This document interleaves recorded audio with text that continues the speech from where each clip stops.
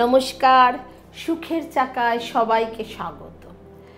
চলতি বছর তেইশে এপ্রিল গুরু চণ্ডাল যোগ তৈরি হতে চলেছে। ওই দিন দেবগুরু বৃহস্পতি মেষ রাশিতে প্রবেশ করবেন। আর ওই রাশিতেই ইতিমধ্যে রয়েছে রাহু। তিরিশে অক্টোবর পর্যন্ত ওই রাশিতেই রাহু থাকবে। বৃহস্পতি এবং রাহু একই রাশিতে আগামী ছ মাস একসাথে থাকবে। আগামী এপ্রিল থেকে গুরুচণ্ডাল যোগ যে তৈরি হবে ছ মাস থাকতে হবে সতর্ক। জ্যোতিষশাস্ত্র অনুযায়ী সময় সময় গ্রহের গতিবিধির পরিবর্তন হয়। গ্রহের এই যে অবস্থান বদল খুবই কিন্তু গুরুত্বপূর্ণ।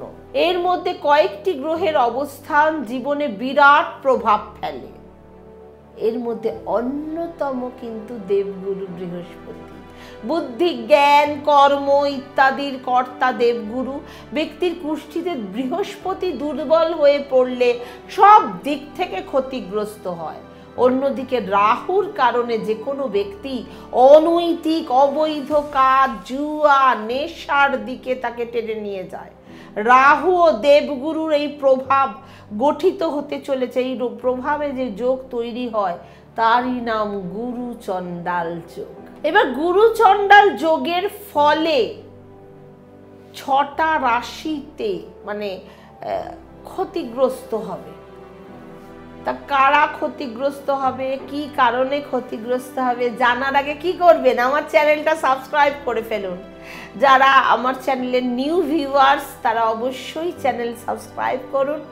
আর যারা রয়েছেন, তারা কমেন্ট করুন, লাইক করুন, শেয়ার করুন। গুরুচণ্ডাল যোগে ব্যক্তি কি করে? প্রধান কারণ হচ্ছে গুরুজনকে শ্রদ্ধা ভক্তি কমে যায়। এই যোগে ব্যক্তির জীবনে আসে নেতিবাচকতা বা নেগেটিভিটি অপরাধ ও প্রতারণার দিকে ঝুঁকতে শুরু করে।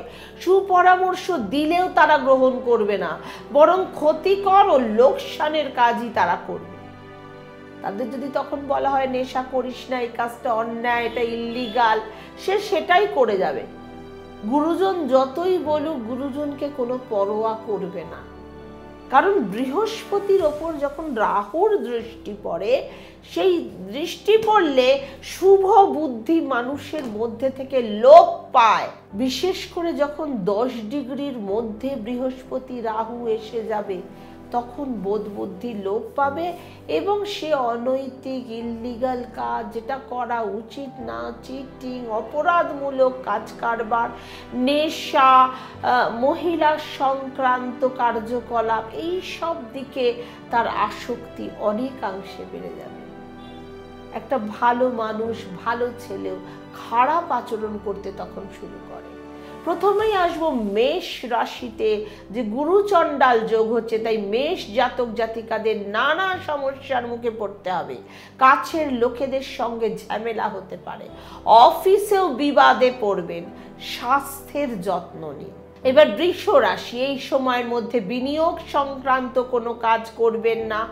অর্থনৈতিক অবস্থার অবনতি হতে পারে পারিবারিক সমস্যার মোকাবিলা করতে হবে, সুখ, শান্তি একদম থাকবে না জীবনে।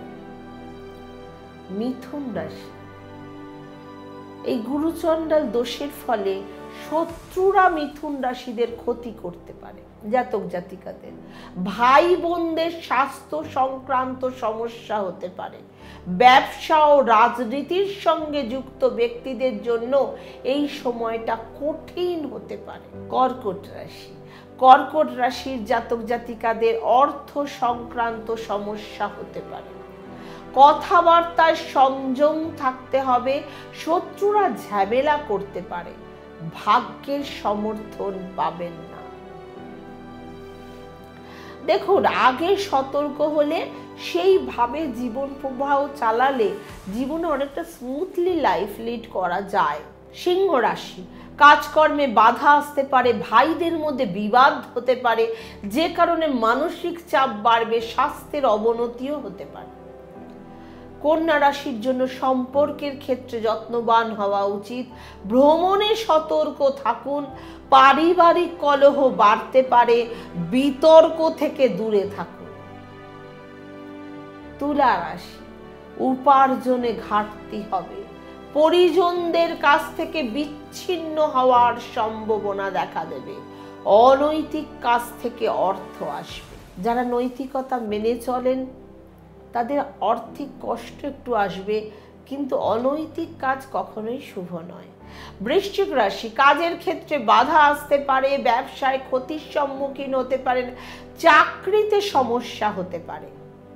ধনু রাশি, ভাগ্যের সঙ্গ পাবেন না, ধর্মীয় কাজে আগ্রহ বাড়বে, পারিবারিক ঝামেলা হতে পারে। মকর রাশি, স্বাস্থ্যের যত্ন নেবেন এই সময়। কথাবার্তায় সতর্ক থাকুন, আয় কমতে পারে কর্মের নানাবিধ বাধা আসতে পারে।